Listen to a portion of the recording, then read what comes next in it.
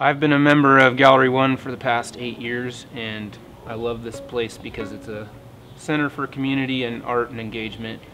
And I've shown work here, and I enjoy seeing the work here. So it's a special place. Um, so when I first moved to Ellensburg two years ago, one of the most welcoming places um, in Ellensburg was Gallery One, and still is.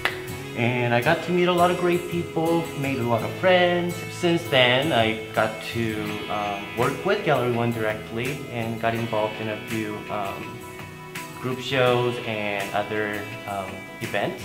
My, you know, my first introduction to Gallery One was um, when a new gallery director came in named Mary Francis, and she, I think, did a little bit more outreach to just kind of a broader community. Um, I, I, think helped bridge a gap between the university and, and the gallery, and um, encouraged a bunch of us to enter a juried show and come down and help with the jurying process. And um, so that was my introduction to the gallery. And at that point, it was just a little gallery space upstairs. When I first moved to Ellensburg, uh, the top floor, it was here, but there was still the stairs. It wasn't, um, there's been some renovations to the actual structure of the building itself that really like made it even cooler in the time I've been here.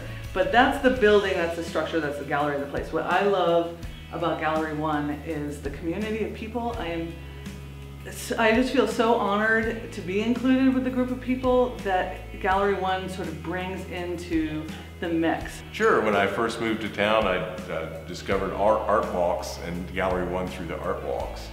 And then since I've been here, I've also taken a class, and so there's lot, always lots of fun stuff happening at Gallery One. Good place to come see.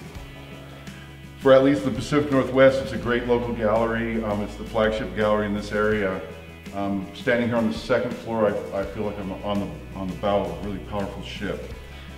I wouldn't be making things if it wasn't for Gallery One. I know that sounds cliche, but this place gave me the opportunity to be able to be an artist. Um, not being like a classically trained artist or whatever, I didn't go to school, so I wasn't around like the whole platform of what it's like to be in a professional art setting uh, with galleries and curators and due process. So it's been a good learning curve and great experience to be able to be in here.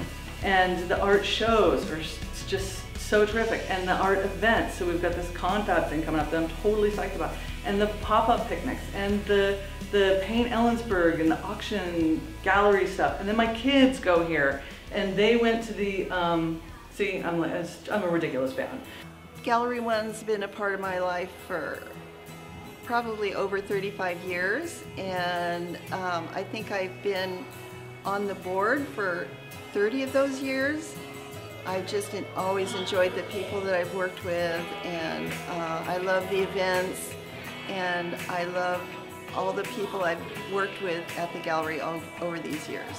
Now it's grown and become this amazing space and um, just this amazing presence in this community. I've been eternally grateful to the gallery and it's just all the great programs here and all the all the atmosphere, the the positive atmosphere of our director and all the people that work here that make it a great place to be.